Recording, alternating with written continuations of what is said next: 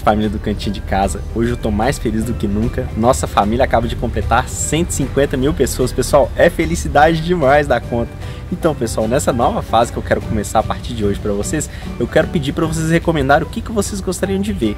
Vocês pediram para plantar abacate, eu plantei. Vocês pediram para plantar limão siciliano, eu plantei. O que, que vocês gostariam de ver mais? Além disso, você gostaria de alguma dica de casa, aprender alguma coisa bacana que você pode fazer em casa, sem gastar nada? Ou outro assunto relacionado que você gostaria de ver, alguma técnica, distinção entre as técnicas aí, deixe nos comentários para a gente poder começar a gravar esse conteúdo aí para vocês e a gente enriquecer aqui o material do cantinho de casa para vocês aqui.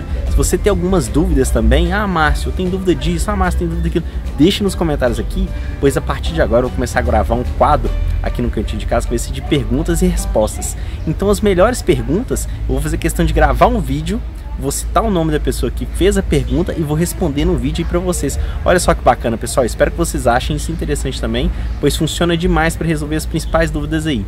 Então, pessoal, deixa nos comentários aí o que, que você gostaria de ver de novidade no cantinho de casa, o que, que você acha que ficaria bacana para a gente começar a produzir. Você quer saber questões de artesanato, você quer questões de plantar os tipos de frutíferos, outros tipos de plantas também ornamentais ou não ornamentais, deixe nos comentários aqui para mim, pois esse vídeo aqui é a pesquisa que vai me direcionar e vai me ajudar a trazer diversos outros conteúdos aí para vocês. Então desde já, pessoal, eu agradeço vocês todos a fazerem parte dessa família maravilhosa, a família do Cantinho de Casa. Eu estou extremamente feliz, agradeço a Deus por todo o apoio que vocês têm dado aí. Muito obrigado por tudo, pessoal. Com Deus, até o próximo vídeo. Espero que vocês respondam aqui.